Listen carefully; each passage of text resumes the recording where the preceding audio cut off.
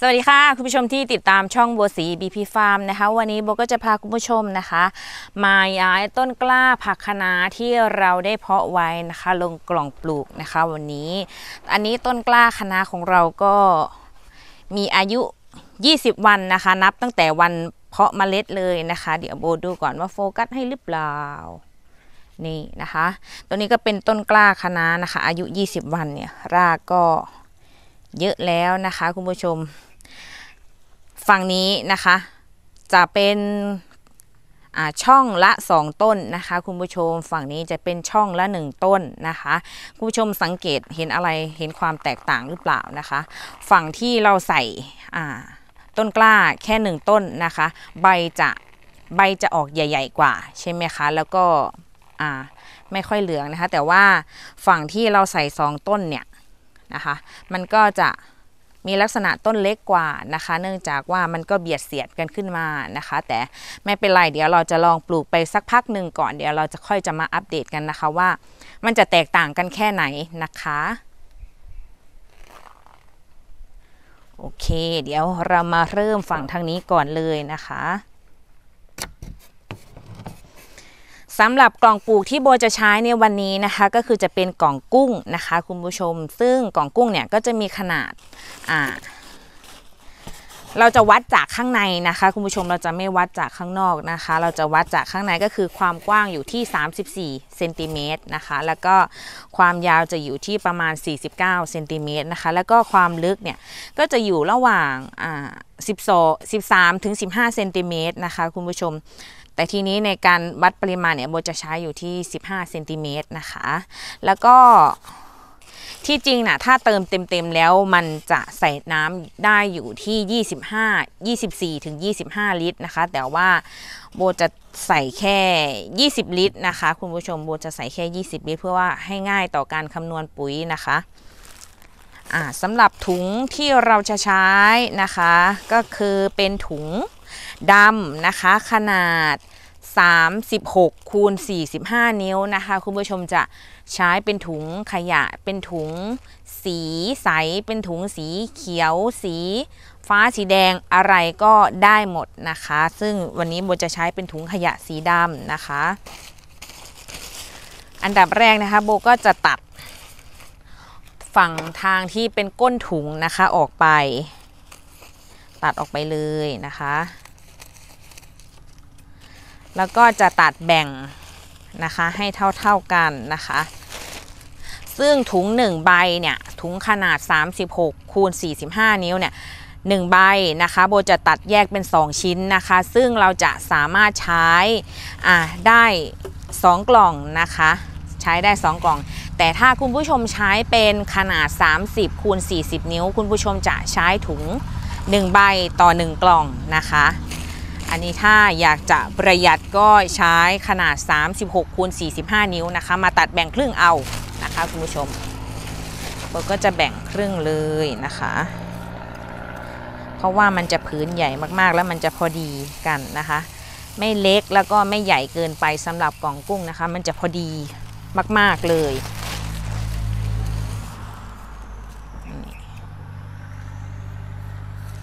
ตัดออกไป เดี๋ยววันนี้เราจะค่อยๆทำนะคะ เราจะไม่รีบ เพราะว่าวันนี้เป็นวันหยุด แต่ว่าพรุ่งนี้ก็ทำงานแล้ว พรุ่งนี้วันจันทร์นะคะอ่าเสร็จแล้วก็จะแบ่งออกมาได้สองใบแบบนี้นะคะอ่าให้คุณผู้ชมมัดปลายไว้ก่อนเลย มัดปลาย มัดเบาๆนะคะ ไม่ต้องมัดแน่นมัดปลายไว้ ทั้งสองข้างเลย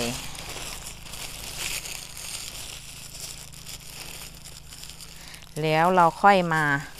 สวมใส่กล่องของเรา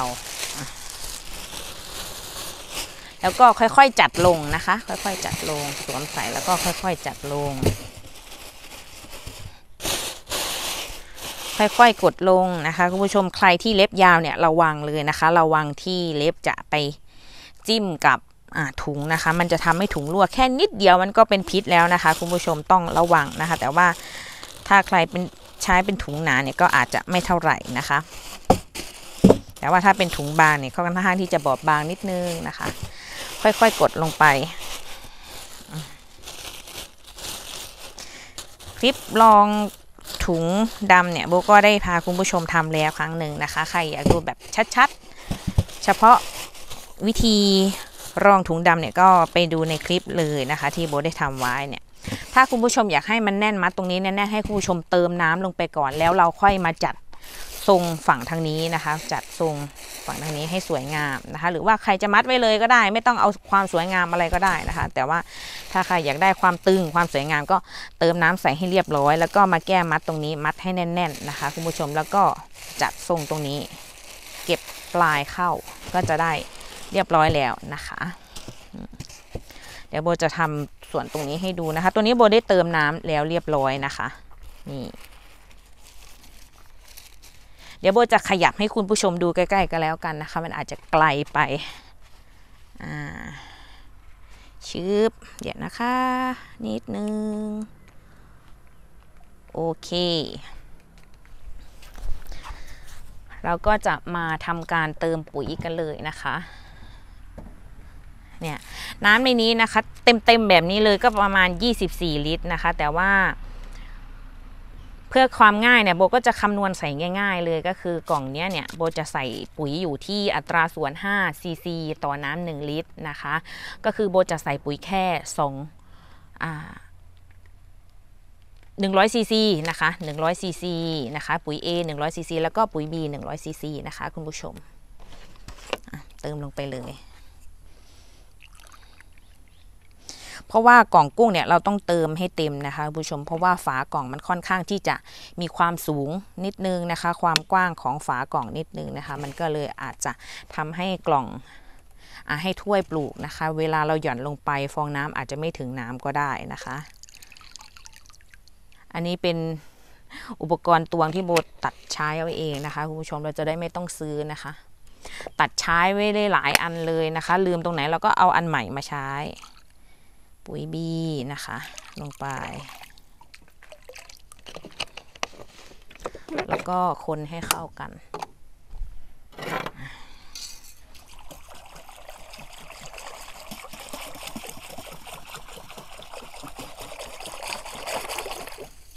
ช่วงนี้เข้าหน้าหนาวแล้วเนี่ยโบเริ่มไม่กังวลแล้วนะ ไม่กังวลเรื่องอะไรทั้งสิ้นนะคะ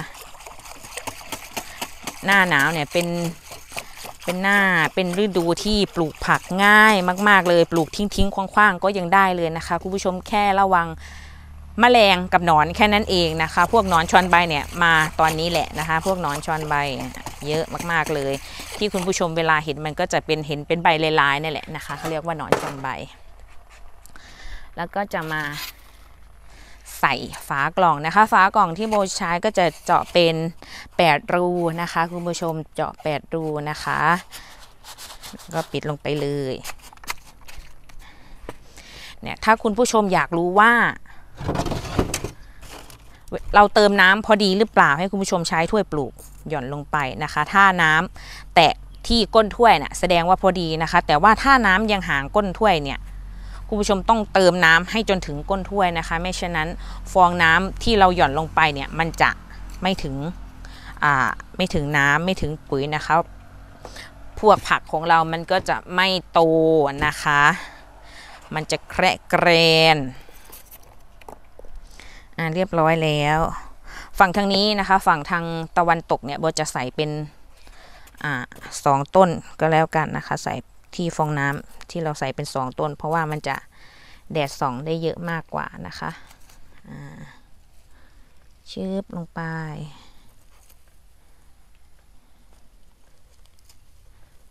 นี่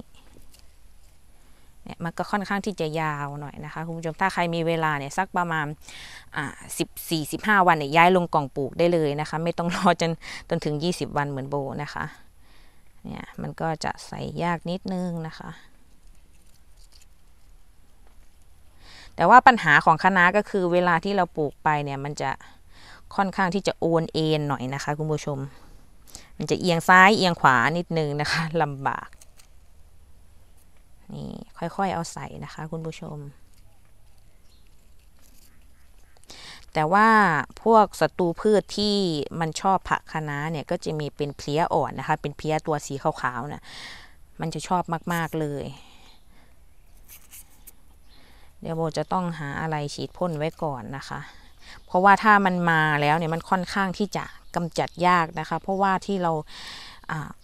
ชีวพันธุ์ที่เราใช้เนี่ยมันก็ได้มาจากธรรมชาตินะคะ เวลาที่ระยะเวลาที่เราใช้มันก็อาจจะเห็นผลช้าหน่อยนะคะ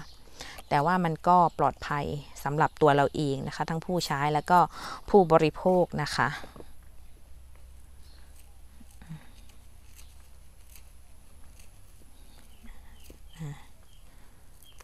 บางช่องก็เหลือหนึ่งต้น บางช่องก็เหลือสองต้นอยู่นะคะ คุณผู้ชมนี่เออเนี่ยมันค่อนข้างที่จะล้มนะคะ เพราะว่ามันเบียดเสียดกันขึ้น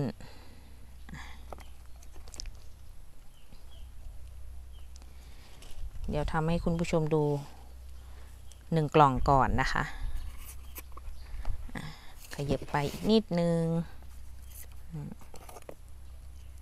ระยะเวลาการเก็บก็อยู่ที่ประมาณ 50 วัน 40ถึง50 วันก็ได้นะคะ แต่ละถ้าเราปลูกกินเองเนี่ยช่วงประมาณ 40 วันเนี่ยใบเขาก็เริ่ม ที่จะบานใหญ่แล้ว เราก็สามารถเก็บกินได้เลย แต่ว่าถ้าใครอยากจะแบบ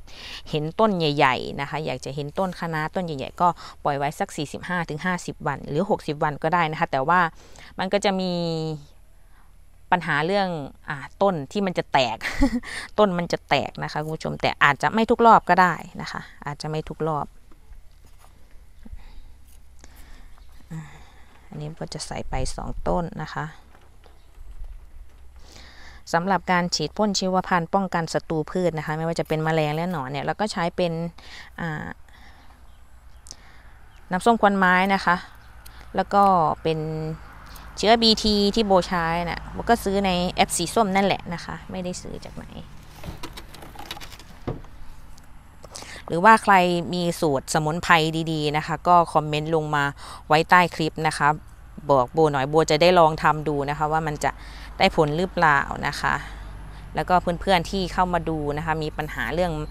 มแมลงพวกหนอนเนี่ยก็จะได้ลองนำไปใช้นะคะ คุณผู้ชม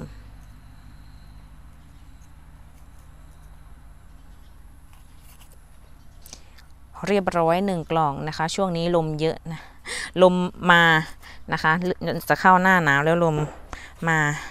แรงมากๆ ไม่รู้ว่าจะจะ ปลิวหนีก่อนหรือเปล่านะคะ คุณผู้ชม วันนี้ก็มาสาธิตให้คุณผู้ชมดูนะคะหนึ่งกล่องก่อนนะคะ เดี๋ยวระยะเวลามันจะยืดยาวเกินไปนะคะ คุณผู้ชมยังไงก็ขอให้คุณผู้ชมปลูกผักอย่างมีความสุขก็แล้วกันนะคะ ขอบคุณที่ติดตามรับชมด้วยนะคะสำหรับวันนี้ก็สวัสดีค่ะ